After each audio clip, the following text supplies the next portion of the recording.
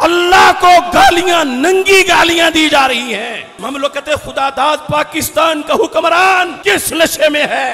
अभी तक F I R नहीं कटी, अभी तक गिरफ्तारी नहीं हुई। कहाँ गए वो सादात? कहा पीराने तरीकत? इल्ला माशा वो अपने आप को तोहीदी करार देने वाले।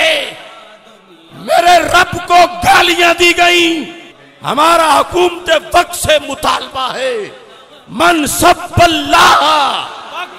मन सब्बल्लाह। क्यों एफ़ आई आर दर्ज नहीं हुई? या इबाद अल्लाह या इबाद अल्लाह कुमूल अजमतिल्लाह कुमूल इज्जतिल्लाह जिसको जिस फॉर्म पर जिस जगह दुनिया के जिस कोने पर अल्लाह की इज़्ज़त के लिहाज से दलील की ज़रूरत पड़ी, बंदा सर के बल चल के अल्लाह की इज़्ज़त की दलीलें देगा।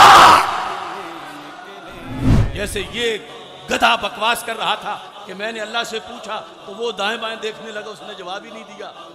ओ खोते पहले अल्लाह के बंदों से तो बात कर। क्या बात है मैं दुनिया भर के दहरियों, मुलहदों को चैलेंज कर रहा हूँ। मैं अल्लाह के बंदों में एक कमज़ोर सा बंदा हूँ। मगर मुझे अल्लाह के फजल पर यकीन है, मैं दो मिनट में बड़े से बड़े मुलहिद को उल्टा करके रख दूँगा, इंशाल्लाह। अमर जलील है, एक कुफर नहीं। इसके उस गुफ्तगु में दर्जनों कुफर हैं, जिसकी सारी इज्जतें हैं। उस जात की तो ही हुई। और किसी को कोई मसला ही नहीं। कुछ लोग बरतानिया के खाके बनाने वालों के खिलाफ तो बोल लेते हैं।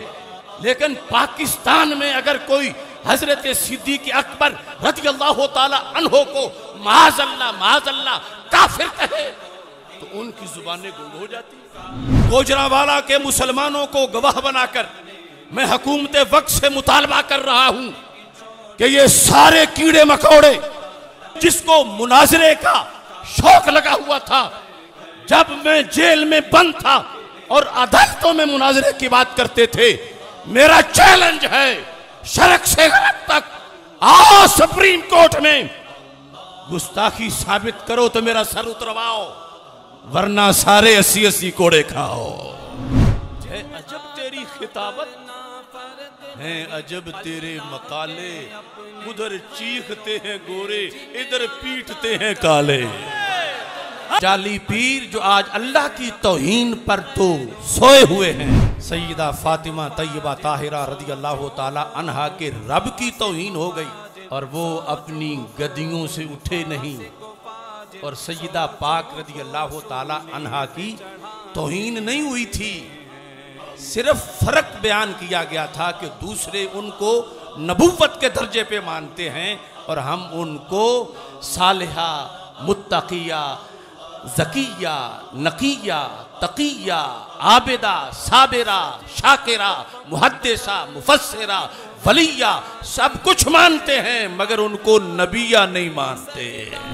हर बंदे को तो पता नहीं कि सईदा जहरा रदी अल्लाह ताला के मज़ार मुकद्दस के लिए सऊदी हुकूमत से टक्कर मैंने भी, उसके नतीजे में मदीना एयरपोर्ट पर मुझे रोका गया।